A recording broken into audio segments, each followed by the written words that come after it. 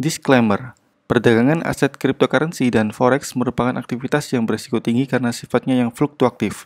Semua konten yang tersaji di dalam channel ini merupakan murni pendapat atau opini pribadi.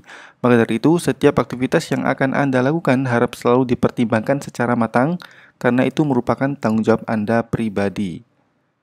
Sebelum lanjut videonya, jangan lupa untuk klik tombol subscribe dan aktifkan loncengnya agar Anda tak ketinggalan info jika ada update video terbaru dari kami. Terima kasih. Oi, bentar. Duta Kripto sedang mengadakan giveaway 1000 koin Zilika gratis untuk para subscribers Duta Kripto. So, pastikan kamu subscribe channel ini dan aktifkan loncengnya ya. Untuk detail giveaway, cek link di deskripsi. Tapi sebelum kamu klik link giveaway-nya, tonton dulu dong video Duta Kripto yang sedang kamu buka ini. Baru setelah itu lanjut ke link giveaway. Oke? Okay? Oke, bismillahirrahmanirrahim. Di video kali ini kita akan kembali lagi membahas tentang market kripto yang sedang terjun bebas ya guys ya. Nah, kalau kita cek dari coin market cap ini emang lagi merah-merah semua ya. Merah, semua merah ya. Kemudian kalau kita coba cek dalam tujuh hari terakhir ya dominansinya merah. Nah, Oke ya, merah-merah semua ya. Ada yang turun sampai 68%, 63%, 50%, 40%, bla bla bla. Jadi emang dominansinya sedang bearish ya. Dan saya yakin subscribers Duta Kripto ini banyak yang nyangkut ya. Saya yakin karena saya juga nyangkut, Bro. Bro, kita senasib ya. Kampret, kampret. Kemudian di sini yang ingin saya bahas di sini adalah apakah ketika market bearish seperti ini kita harus panik? Nah, itu pertanyaannya ya. Karena banyak banget teman-teman yang tanya, "Bang, ini gimana nih kelanjutan dari kripto? Apakah akan bearish terus? Apakah akan ada recovery dan akhirnya terjadi pump parah?" Nah, sini kita coba bahas dari segi emosionalnya ya, yaitu ketika market bearish apakah kita harus panik? Ya.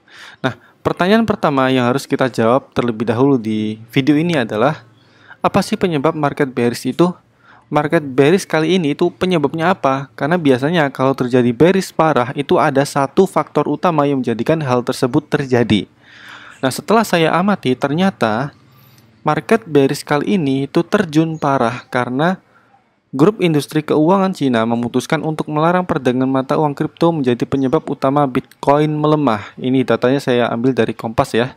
Dan Kompas ini melansir dari CNN. Jadi, Cina ini sedang memblokir perdagangan mata uang kripto. Hal ini menyebabkan terjadinya panic selling. Panic selling merupakan sebuah fenomena di mana orang-orang itu lebih mendominasi sell dibandingkan dengan buy. Itulah yang menyebabkan terjadinya market merah, market bearish kayak sekarang ini. Ya orang-orang ini pada panik ya, sehingga mereka memutuskan untuk menjual aset mereka. Entah mereka itu jualnya dalam posisi untung, entah dalam posisi rugi, yang penting jual lah, jual. Karena Cina lagi memblokir uh, exchange kripto mereka, jual aja jual. Terlebih, Cina kan merupakan salah satu negara yang dikenal dengan teknologinya yang sangat maju ya. Bahkan teknologi-teknologi yang sebelumnya impossible itu di Cina dijadikan sebagai suatu teknologi yang possible. Mungkin, ini mungkin ya kemungkinan, orang-orang ini pengen selling karena Cina saja yang disebut sebagai negara teknologi ini menolak kripto. Takutnya setelah Cina melakukan pemblokiran ini, itu akan diikuti oleh negara-negara lain. Jadi itu pandangan saya. Pandangan saya demikian. Cina yang teknologinya maju banget itu menolak kripto, apalagi negara-negara lain. Kemungkinan negara-negara lain juga akan mengikuti China. Mungkin itu faktor utama kenapa orang-orang panic selling mereka memutuskan untuk menjualnya, takut seperti itu. Dan juga perlu kalian pahami bahwa dunia saham dan dunia cryptocurrency itu sangat sensitif terhadap berita ya. Bahkan analisis teknikal kayak kita memahami candlestick menggunakan indikator-indikator yang luar biasa itu masih kalah dengan news. Semisal ya, ada informasi mengenai uh, setelah kita analisa secara teknikal ini saham Telkomsel ini bakal naik nih. Ternyata ada informasi bahwa pejabat Telkom kabur ya. Ini cuma sebagai contoh ya.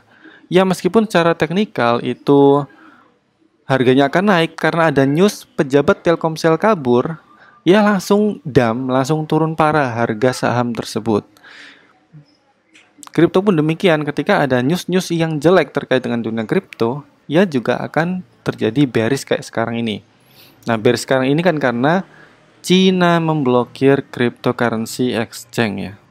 Nah, next pertanyaan adalah apakah kita harus panik? Nah, ini ya yang mungkin kalian tunggu-tunggu Hal yang perlu kalian ketahui adalah Cina itu merupakan salah satu negara yang memiliki kebiasaan untuk memblokir suatu teknologi yang masuk ke negara mereka. Jadi kalian itu nggak perlu bingung lagi kenapa kok Cina itu memblokir kripto sih? Karena emang negara ini emang biasanya gitu. Contohnya Cina itu ngeblokir Google, YouTube, Facebook, Twitter, Instagram, Snapchat, dan lain sebagainya. Ini saya kutip dari CNN Indonesia juga ya. Kalau kalian ingin tahu lebih detail tentang aplikasi-aplikasi yang diblokir oleh pihak China, itu kalian browsing-browsing aja lah. Platform yang diblokir oleh China itu nanti banyak banget lah. Jadi China emang dari dulu gitu. Mungkin tujuannya itu supaya tidak ada persaingan terhadap produk lokal mereka ya mungkin ya. Sehingga China kalau melihat sebuah teknologi baru ke negara mereka yang itu memungkinkan produk mereka itu kalah saing, mereka memutuskan untuk memblokir teknologi tersebut. Kemungkinan seperti itu. Yang menjadi pertanyaan adalah, apakah setelah platform-platform di atas itu diblokir, apakah mereka mati? Seperti Google, YouTube, Facebook, Twitter, apakah mati? No, mereka malah makin berkembang. Nah inilah poin pentingnya ya. Meskipun platform-platform ini diblokir di China, tetap berkembang pesat. So di sini kesimpulannya adalah kita tidak perlu panik. Stay calm, tetap santuy, Bro. Meskipun Cina telah memblokir kripto, itu bukan berarti masa depan kripto itu suram. Karena kalau kita lihat dari historinya, Cina emang punya kebiasaan memblokir teknologi yang masuk ke negara mereka. Tapi teknologi tersebut tetap berkembang pesat. So, kita nggak perlu panik. Kalau kita panik, ya makin besar efek panik selling. Orang-orang lebih banyak untuk sell, sell, sell, sell. Ya harga marketnya semakin turun, semakin turun, semakin turun. Kita jual rugi, kayak gitu ya. Ngapain kita coba panik? Dan perlu kalian pahami bahwa ketika kita terjun dalam dunia cryptocurrency, kamu harus paham bahwa kripto itu fluktuatif. Fluktuatif maksudnya apa? Pergerakannya itu sangat cepat. Misal hari ini, detik ini posisinya kita naik 10%. 15 menit lagi itu bisa saja turun jadi 20%. Jadi pergerakannya itu cepat, apalagi terhadap sebuah news. Jadi fluktuatif banget.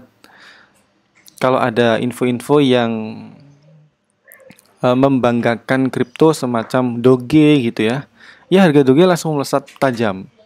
Kalau ada yang membahas tentang misal Cardano dari pihak influencer, ya langsung Cardano naik tajam. Begitu juga sebaliknya, jika ada yang menjelekkan Doge dari pihak influencer, ya langsung turun tajam. Itu fluktuatif. Ya seperti saham lah sebenarnya. Cuma kalau dilihat dari segi fluktuatifnya itu lebih kejam dunia kripto. Nah saran saya ini tetap stay calm, nggak perlu panik. Dan menurut saya dunia kripto itu merupakan dunia teknologi masa depan. Blockchain itu teknologi masa depan yang sekarang ini sedang dirajut. Maksudnya apa di sini? Ia belum sempurna. Masih banyak project-project koin yang itu dalam tahapan pengerjaan. Belum final. Dan itu final itu butuh proses bertahun-tahun. Dan dunia kripto ini mengubah dunia yang sebelumnya sentral atau dikontrol oleh suatu pihak menjadi dunia yang desentral, tidak ada pihak yang bisa mengontrolnya. Dan ini merupakan menurut saya ya satu sisi ada positifnya, satu sisi ada negatifnya. Sisi positifnya adalah kita bertransaksi itu bisa dengan biaya yang lebih murah karena nggak ada entitas yang mengatur keuangan tersebut. Nah, kuncinya di sini adalah ketika kita terjun dalam dunia cryptocurrency dan posisinya bearish seperti sekarang ini, Ya bangun portofolio aset kriptomu pada koin yang berfundamental. Ini kuncinya ya. Jadi cari koin-koin yang punya fundamental yang bagus, yang memiliki proyek revolusioner, memecahkan problem masa depan, roadmapnya jelas, bisa dibaca di websitenya, timnya hebat, dia itu tim dari apa, akademisi, atau tim abal-abal kan bisa ya dilihat dari portofolio atau white paper dari koin tersebut. Oke itu aja sih untuk video kali ini tentang apakah kita perlu panik ketika momen bear seperti ini. Kalau saran saya nggak perlu panik. Meskipun diblokir di China bukan berarti ini teknologi akan hancur. Oke ya.